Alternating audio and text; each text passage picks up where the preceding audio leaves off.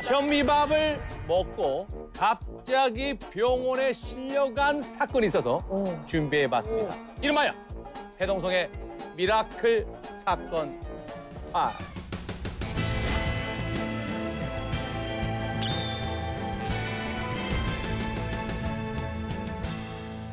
최근 건강에 관심이 많아진 50대 남자 배아리 씨.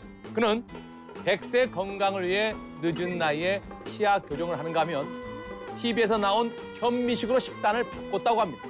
그런데 갑자기 복통을 호소하며 병원에 실려온 배 씨. 자, 얼마 전부터 속이 답답했다고 하는데요. 대체 그에게 무슨 일이 일어난 걸까요? 아유, 이게 나이 탓이에요. 우리가 나이가 먹잖아요. 안 아픈 데가 없어요. 그냥 다 아파요. 가자. 네. 볼 때는 어, 뭐 그럴 수도 있어. 속이 답답하고 배가 아프다는 거 보니까 갑자기 스트레스를 너무 많이 받은 것이 아닐까. 음. 그리고 또 어. 나이 들어서 이 교정하는 게 저도 교정기를 끼고 있습니다만은 네. 좋아가지고. 너무 스트레스를 받거든요. 그렇구나. 이제 많은 의견들을 주셨는데요. 이제 현미밥이라는 게 까끌까끌하고 이제 사실 식감이 이렇게 썩 좋지만은 않잖아요.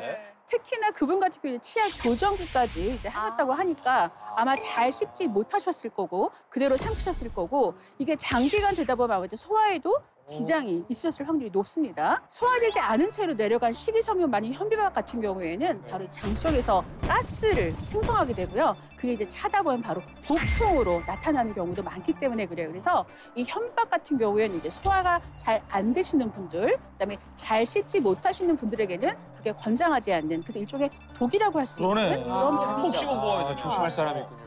어, 소연 씨. 현미 하면은 사실 건강하다는 느낌이 들어서 네. 뭐 무조건 좋은 줄 알았거든요. 네. 저희 엄마 아빠한테도 좀 조심해서 드시라고 해야겠네요. 네네. 무조건.